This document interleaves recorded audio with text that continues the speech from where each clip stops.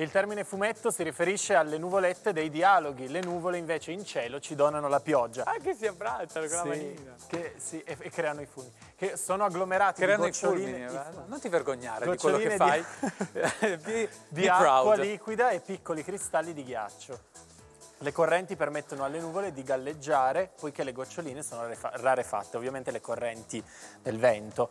Eh, le nuvole piccoline pesano quasi come 10 elefanti, no? perché le correnti d'acqua, le nubi alte sono più brillanti, quelle basse più cariche. Perché lo vedo che no. quando ti arrampichi un po' sulle nuvole... La butto lo, sulla lo simpatia. La butti sulla simpatia, sì. ma è giusto, ma infatti fai bene. Okay. Eh, si pensa che il fumetto nacque negli, negli Stati Uniti d'America, ma in realtà è molto più antico.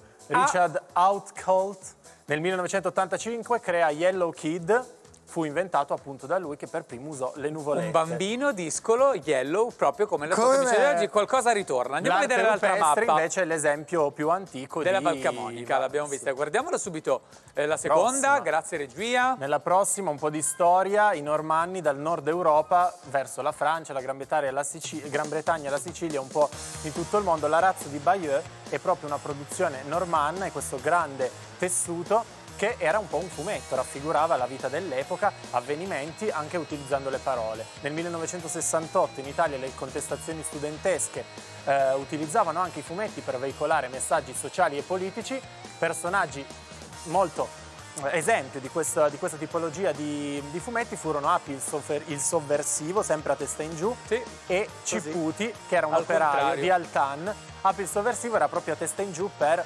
raffigurare diversi punti di vista, per sconvolgere la società il e ribaltamento proprio della sì, società. Benissimo, era un periodo guardiamo... proprio di scontri tra studenti e forze di polizia. Hai messo anche eh, che si danno le botte in testa. Sì. Okay. Guardiamo l'ultima mappa dei 10 secondi, dai. L'ultima mappa, la prof Bacci ci parla dei giochi logici, il quadrato che magico, bella, il Bacci più antico più fumettosa cinese, di lei, hai visto? E poi il mito di Apollo e Daphne. Che ti ha conquistato. Tantissimo, sì sì sì. L'alloro, la, la, e narra la nascita della pianta. E allora andiamo e avanti allora a questo avanti, punto. Sì.